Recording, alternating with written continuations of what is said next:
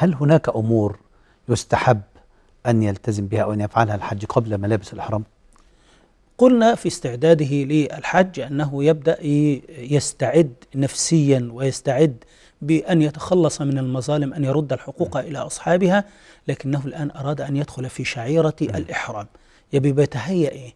تهيؤ الجسدي خصال الفطرة. نعم مم. اللي هي يبدأ يغتسل، تقليم الأظافر الأظافر، الشعر، نعم. قص الشعر تهذيب لحيته إن كان ممن يرى ذلك أو آه، تجميل نفسه وت... كأنه يستعد للقاء الله تبارك وتعالى والرحلة إلى الله عز وجل. ثم إذا اغتسل يبدأ ويلبس ملابس الإحرام ثم يصلي ركعتين أو إذا كان صلى آه، سنة من السنن الحاضرة في وقته أو إذا كان خرج من سنة أو من فرض بعد أن ينتهي يقول لبيك اللهم حجا أو لبيك اللهم عمرة ويبدأ يهل ويستعد لهذا.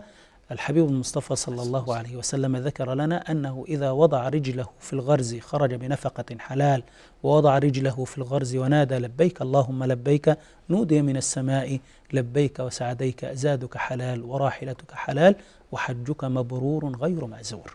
له أن يتعطر قبل أن يرتدي يتطيب كالسيدة يتطيب. السيدة عائشة أم المؤمنين رضي الله عنها وأرضاها تقول كنت أطيب النبي صلى الله عليه وسلم لإحرامه قبل أن يحرم ولإحلاله قبل أن يطوف بالبيت